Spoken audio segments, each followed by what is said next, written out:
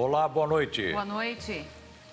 Por 10 votos a zero, o governador do Rio de Janeiro, Wilson Witzel, perdeu o cargo nesta sexta-feira. O Tribunal Especial Misto confirmou o impeachment do ex-governador por crime de responsabilidade.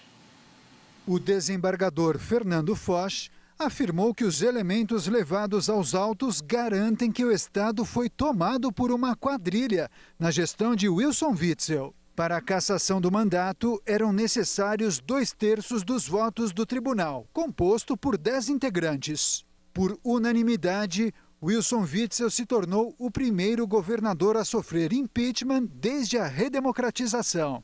O deputado estadual Luiz Paulo, do Cidadania, autor do pedido de impeachment, ao lado da colega Lucinha, do PSDB, afirmou que o comando na área da saúde estava contaminado pelo vírus da corrupção. O doutor Wilson Witzel deveria ter exigido de seus subordinados que respeitassem os elementos principais da centenária teoria clássica da administração criada por Taylor e Fayol, ou seja, entre aspas, prever, organizar, comandar, coordenar e controlar Tais princípios básicos foram negligenciados.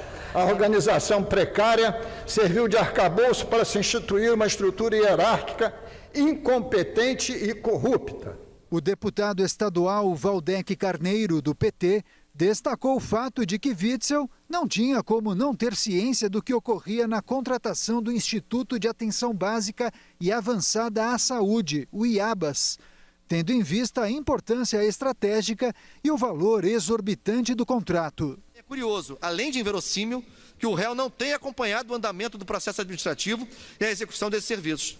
Além de ter grande envergadura financeira, sendo possivelmente o contrato de valor mais alto da Secretaria de Estado de Saúde de todo o poder executivo estadual, também se tratava de medida estratégica para o enfrentamento da pandemia no estado do Rio de Janeiro. Sua omissão e negligência no acompanhamento do processo de contratação da empresa ou organização social que realizaria a montagem e a gestão dos hospitais, certamente acabou por contribuir para que dezenas de milhares de cidadãos fluminenses fossem fatalmente vitimados pela Covid-19. Já a defesa de Witzel negou todas as acusações e chegou a pedir a anulação de todo o processo de impeachment desde a sua origem, por supostas nulidades. Mas a solicitação foi rejeitada por unanimidade.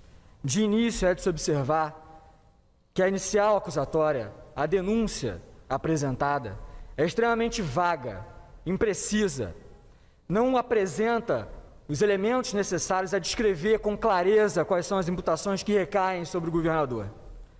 Fruto disso, como já bem salientado, foi uma instrução tumultuada, onde se tratou de toda sorte de questões, questões inclusive alheias ao exercício do mandato. Aqui devemos tratar exclusivamente de fatos após a posse do governador. Após a decisão, Wilson Witzel disse em sua rede social, abre aspas, é revoltante o resultado do processo de impeachment a norma processual e a técnica nunca estiveram presentes. Não fui submetido a um tribunal de um Estado de direito, mas sim a um tribunal inquisitório, com direito a um carrasco nos moldes do Estado Islâmico que não mostrou o rosto, fecha aspas. Witzel foi denunciado ao Superior Tribunal de Justiça, que aceitou a denúncia. O processo criminal poderá levar o político à prisão. Witzel é réu por corrupção passiva e lavagem de dinheiro. Com a decisão, Cláudio Castro deixa a interinidade no comando do governo do estado e assume como governador de fato. Ele deverá ser empossado amanhã, dia 1 em duas cerimônias. A primeira às 10 da manhã na Assembleia Legislativa e depois às duas da tarde no Palácio Guanabara.